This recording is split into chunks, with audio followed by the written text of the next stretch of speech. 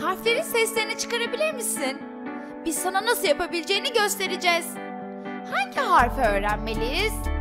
Hmm, Hadi A harfini öğrenelim. Bu küçük A harfi. Bu ise büyük A. Şimdi A harfinin nasıl göründüğünü biliyorsun. Hadi şimdi birlikte söyleyelim.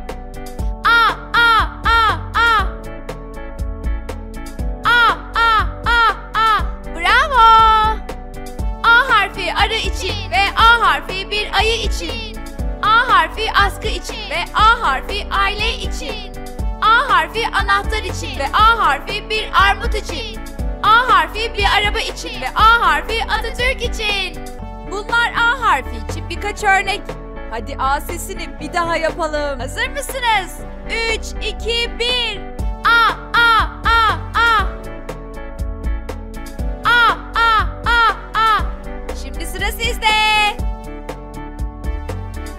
Süpersiniz.